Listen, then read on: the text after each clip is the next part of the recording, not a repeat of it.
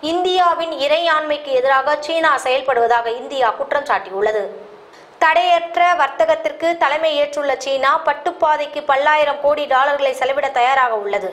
பெய்ஜிங்கில் நடைபெற்ற belt and road தொடர்பான கருத்தரங்கை இந்தியா புறக்கணித்துள்ள நிலையில் பாகிஸ்தான் இலங்கை ரஷ்யா உள்ளிட்ட இருபத்தி ஒன்பது நாடுகளின் பங்கேற்புடன் புதிய வர்த்தக பட்டுப்பாதையை உருவாக்க சீனா திட்டமிட்டுள்ளது.